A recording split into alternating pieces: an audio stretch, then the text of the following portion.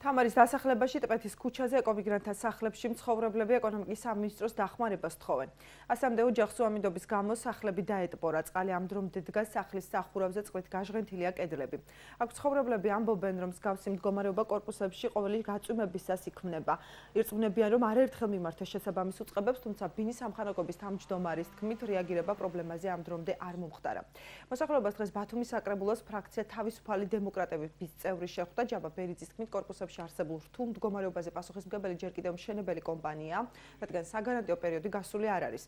ტბეთის ქუჩაზე სოციალური სახლის ეკონომიკის სამინისტროს 2013 წელს ჩაბარდა ხელვაჩაურსა და ქობულეთში მეწყვის შედეგად დაზარალებული ოჯახები ცხოვრობენ. როდის გადაიჭრება პრობლემა? ეკონომიკის სამინისტროსთან მცდელობის მიუხედავად პასუხი ვერ მივიღეთ.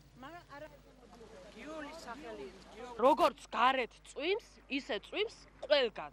კრიშა მუხლზე წყალი იდგა კრიშას მეათე სართულზე თლად დატბორილი იყო მთელი იგი რა ქვია და მე არ ვიცი ეს რანაირი корпуსი აქვს ჩაბარებული და როგორ ჩაიბარა ერთი იმით წვალებით ერთი რაღაცით ერთი სტიქიდან გამოვაღწიეთ მოვედით რაღაცა გვეშველა და ვარესში შეგვასახლეს და ვარესი მოგწეს არანაირი არანაირი არაფერი იგი მერიას რომ მიმართეთ მე აიპის წარმომადგენელი დირექტორი იყო რომ მიმართეთ ჩვენ არა გვაქვს უფლება რომ გავაკეთოთ მიმართეთ ისევ ძნელაძესო და არ გვაქვს ყურადღებას და ვის მიმართოთ? პირველ სართულზე მისლამდის წყალი ჩამოდის სულ. ოთახში ისე წვის ფანჯრებიდან ისე წვიმს რომ სულ ვაფშე რა ვიცი ამის სიმაღლეზე წყალი დადგება და ისე წმინდა ვიმით ტილოებით და იმით მიუმართავ ფინანსთა და ეკონომიკის სამინისტროს მიაქციო სამხალხო ყურადღება რადგან ეს ფართები არის გადაცემული შავი კარგასი, ანუ გაურემონტებელი, ამ ხალხმა გამოიტანა ბანკიდან ფული, გაარემონტა და ამ რემონტს